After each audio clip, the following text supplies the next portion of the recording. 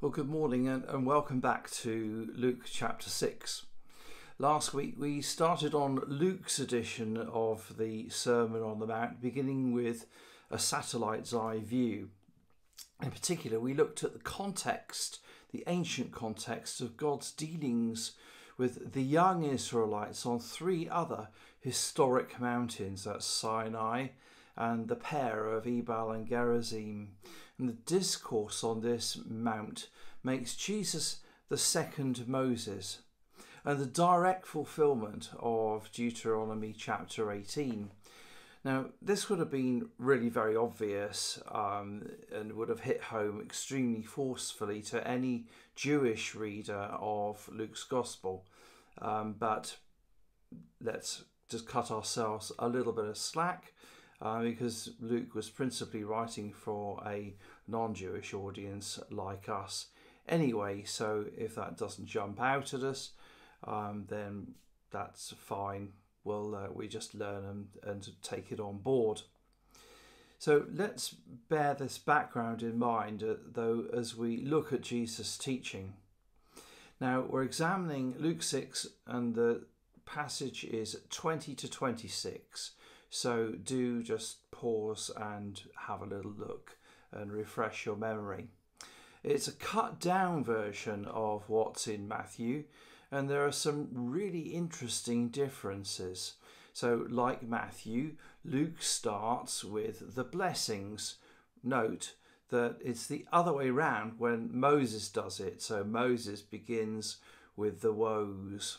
And perhaps this is just one of many reasons why the writer of Hebrews labels the new covenant in Jesus' blood a better covenant, the covenant of which he, that's Jesus, is mediator, is superior to the old one, since that new covenant is established on better promises.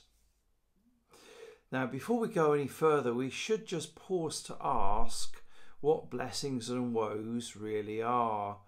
What does this mean to 21st century Westerners like us lot?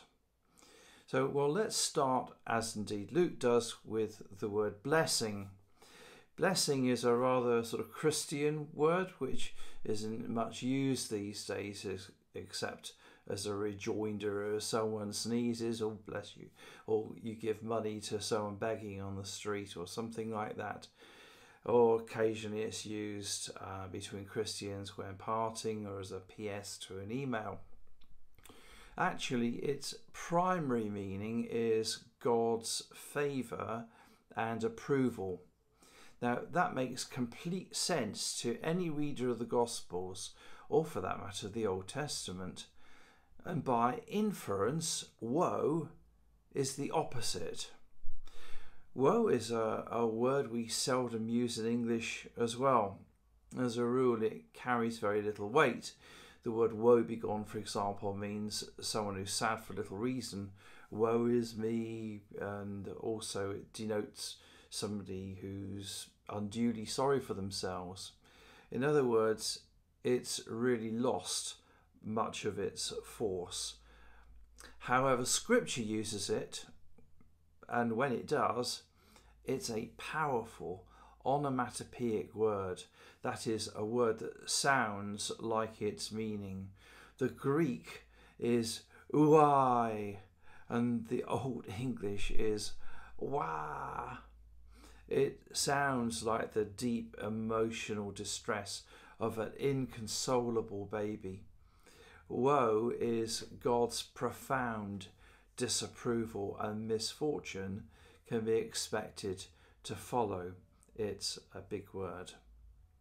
So, what did Jesus say could be expected to attract God's favour, his blessing? Now, it would seem pretty handy to know something like that. And likewise, what attracts his disapproval? Well, here's somewhere to start. Jesus lists four things that attract God's positive attention and four things that attract his censure. They're opposites, four positives, four negatives. so they slot quite neatly into the next four days this week. Here's today's musing. Some of us, maybe not just me, pretty good at dodging or turning a blind eye to things we'd rather not deal with. And if we do notice, we procrastinate. We put off acting on them, sometimes for years, sometimes indefinitely, let's be honest. If the Holy Spirit speaks to you over the next four days, could you make a change? Grace and peace.